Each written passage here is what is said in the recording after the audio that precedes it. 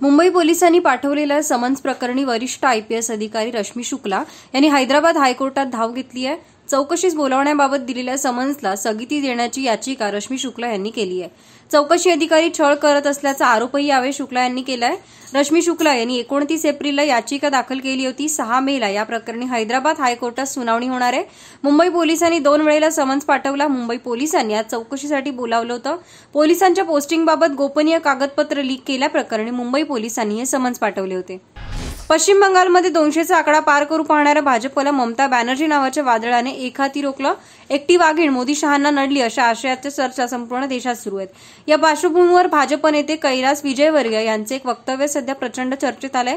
पश्चिम बंगालमधील तृणमूल काँग्रेसच्या विजयामागे शरद पवार यांचा अदृश्य हात आहे असं ट्विट राष्ट्रवादी काँग्रेसचे मंत्री जितेंद्र आव्हाड यांनी केलंय. जितेंद्र आव्हाड असं म्हणाले की पश्चिम बंगालच्या निकालावर भाजपचे निवडणूक प्रभारी कैलास विजयवर्गीय यांचा गौप्यस्फोट. शरद पवारांनी सर्व भाजप विरोधी पक्षांना ममता बॅनर्जींना साथ देण्यास भाग पाडल्याने मतविभागणी रोखली गेली त्याचा फटका भाजपला बसला. याचा अर्थ शरद पवारांचा अदृश्य हात पश्चिम बंगालच्या निवडणुकीत होता. त्यामुळे बंगालच्या विजयामध्ये ममता दिदींसोबत शरद पवारांचाही वाटा आहे असा अर्थ सध्या आव्हाडांनी काढला आहे. पश्चिम बंगाल विधानसभा निवडणुकीचा निकाल जाहीर करण्यात आला. या निकालामध्ये भाजपवर कुरघोडी करत तृणमूल काँग्रेसने स्पष्ट बहुमत मिळवलं. देशाचे केंद्रीय गृहमंत्री अमित शाह यांनी भाजपला दोनशे जागांवर विजय मिळाल्याचा विश्वास व्यक्त केला असताना भाजपला शंभर जागांवरही विजय मिळवता आला नाही. याच विजयाच्या पार्श्वभूमीवर शिवसेनेचं मुखपत्र असलेल्या सामनाच्या अग्रलेखात शिवसेनेने भाजपवर शरसंधान साधलंय. ममता बॅनर्जी यांनी अतिशय जिद्दीने हा विजय मिळवला असून हा विजय म्हणजे मस्तवाल राजकारणास मिळालेली चपराक आहे. तसेच या अग्रलेखातून ममता बॅनर्जी यांचं तोंड भरून कौतुकही केले ऐन निवडणुकीत वाघीण जखमी झाली आणि त्या जखमी वाघिणीने देशाच्या राजकारणाला नवी दिशा दिली असा उल्लेखही केलाय. तर भाजप हरला आणि कोरोना जिंकला असं एका वाक्यात निवडणुकीचं विश्लेषण देखील अग्रलेखात करण्यात आलंय. पोलीस महासंचालक संजय पांडे यांनी मुख्यमंत्री उद्धव ठाकरे यांना एक पत्र लिहिले मुंबईचे माजी पोलीस आयुक्त परमवीर सिंग यांची चौकशी करण्यास पांडेंनी असमर्थता दाखवली आहे. ठाकरे सरकारने परमवीर सिंग यांच्या चौकशीचे आदेश दिलेत.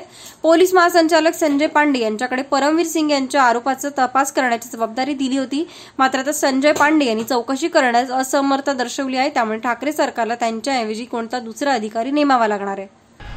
देशभरामध्ये कोरोनाच्या दुसऱ्या लाटेनं थैमान घातले मागील काही दिवसापासून कोरोनाचे साडेतीन लाखाहून अधिक रुग्ण रोज आढळत आहेत.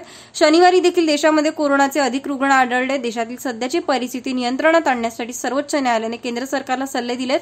सर्वोच्च न्यायालयाने कोरोनाचा प्रादुर्भाव रोखण्यासाठी केंद्र सरकारला लॉकडाऊन लावण्याचा सल्ला दिलाय. तसेच सर्वोच्च न्यायालयाने लस खरेदी करण्यासंदर्भातील धोरणावर पुन्हा एकदा विचार करावा असं देखील म्हटलंय.